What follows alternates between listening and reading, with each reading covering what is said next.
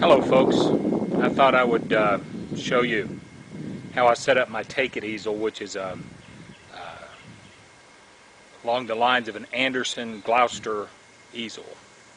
Uh, what you can see in the in the on the picture right now is the easel, um, my paint box, and my backpack. So let's see how I set this up. All right, so what I'm going to show you here is uh, I've got my backpack, I've got my easel, I've got my paint box, and this is what I take to go out and plein air paint. Um, and uh, if I'm traveling a long distance, the paint box will get a little bit heavy. I made it myself in about two hours. As you can see, what I've done is um, I kind of scavenged part of an old French easel to be a, a canvas and panel, wet panel holder on this. So when I'm done, I can just pick it up, put it in there, and, and walk out with it. Uh, and hopefully not mess it up too bad on the way.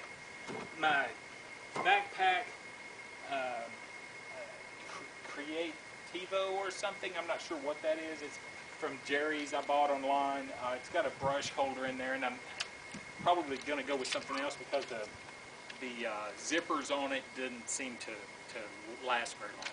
Now this is the Take It Easel. Uh, Jerry's also sells a um, one called a Beauport. And the Beauport is cheap Chinese made. It's made the exact same, close to the exact same. Uh, the hardware on this is exceptional. The hardwood is exceptional.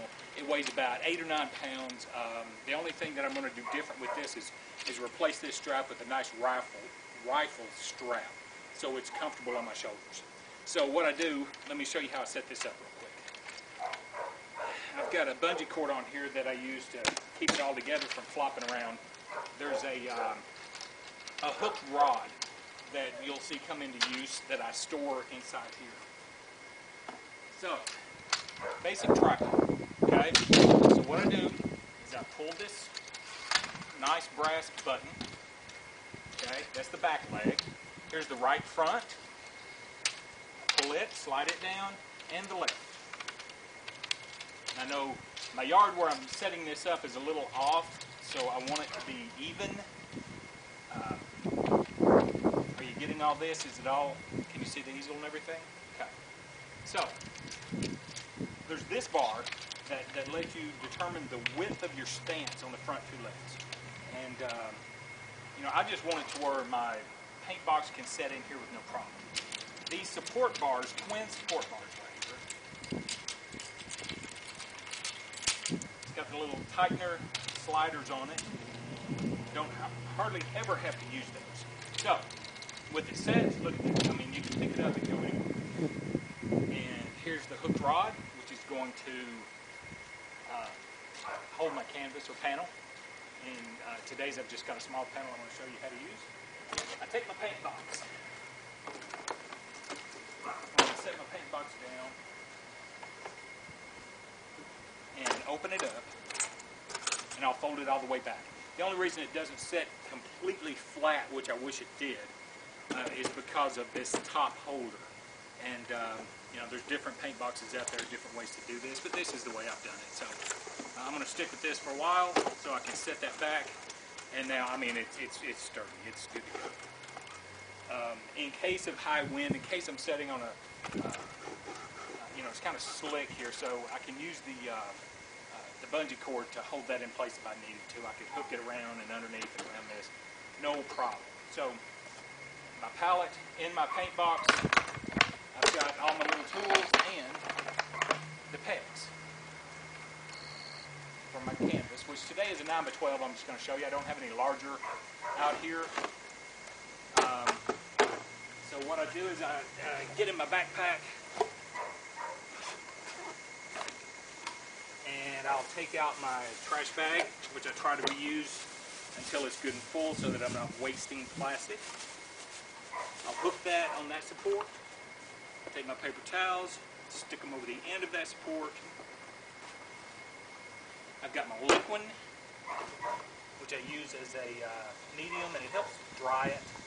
Uh, I've got my mineral spirits in a mason jar, my cup for my liquid,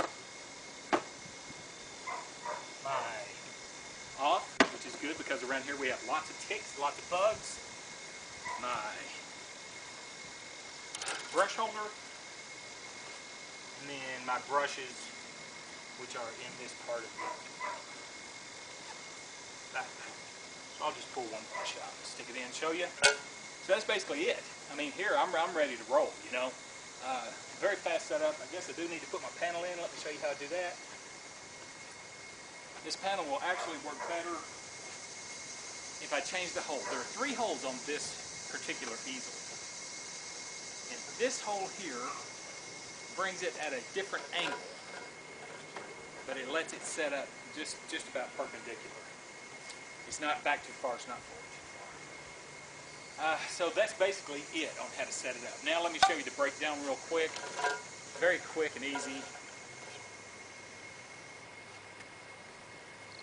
So I put my panel back, put all my stuff up.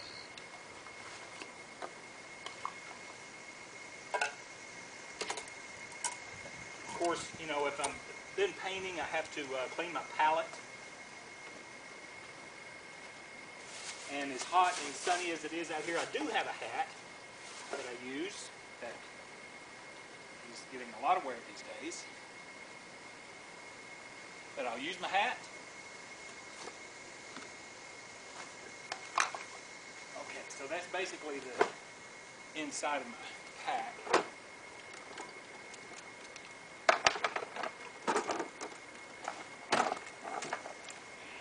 Hold the box back up.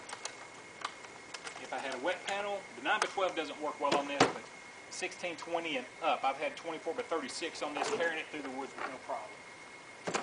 So there's that part.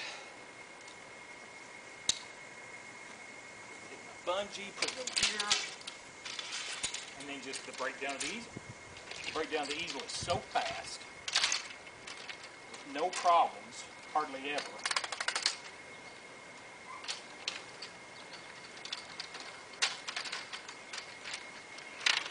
And again, the, the hook rod at the top, I'll put in perpendicular, slide it down.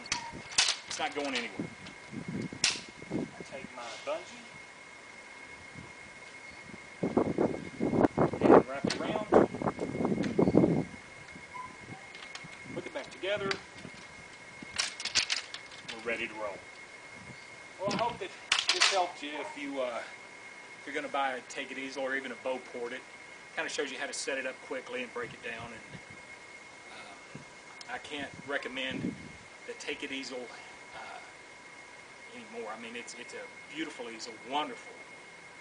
Uh, the Cadillac of outdoor easels is what I call it. So, uh, if you're in the market, I definitely recommend it. Thank you very much.